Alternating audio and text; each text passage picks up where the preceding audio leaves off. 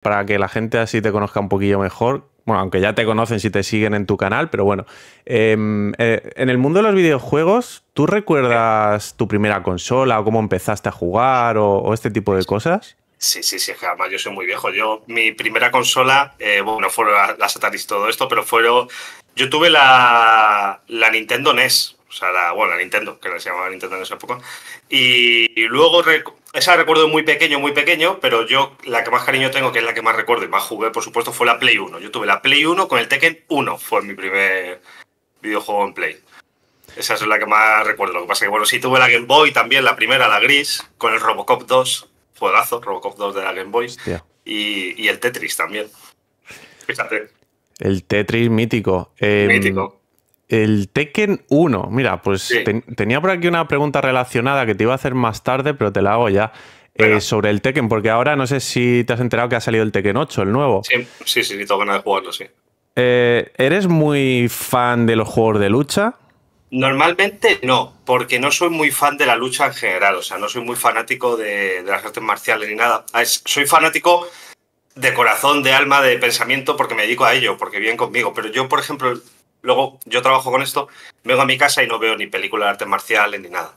Pero es verdad que con el Tekken tengo ahí como un amor platónico. ¿sabes? De hecho, el Tekken es que me lo quiero comprar, el 8. Me gusta la historia, me he visto las películas de Tekken. Pero no soy muy de juegos de lucha. Es verdad que también me gusta mucho el Mortal Kombat. El Mortal Kombat sí que he jugado bastante. Mm, pero me suele echar para atrás, solo más interesante por otro tipo de juegos. ¿Y el Street Fighter? Street Fighter, es que sabes qué pasa, que me, mola mucho. De hecho, tengo un tatuaje de Ryu en, la pierna. Eh, me mola mucho Street Fighter 2, el Alpha y todos esos. Cuando salió este, creo que fue el 4, el 4 o el 5, que salió ya en, como en 3D y eso, ya no me, ya no me moló tanto, tío. Ya era otro rollete, sí. No, es otro rollo, sí, sí, no iba mucho conmigo. Yo es que fíjate, eh, me pasa un poco parecido yo, em, bueno, sí que he jugado toda la vida a juegos de lucha, sobre todo en la época de los arcade, pues lo típico, Street Fighter 2 y, todo esto.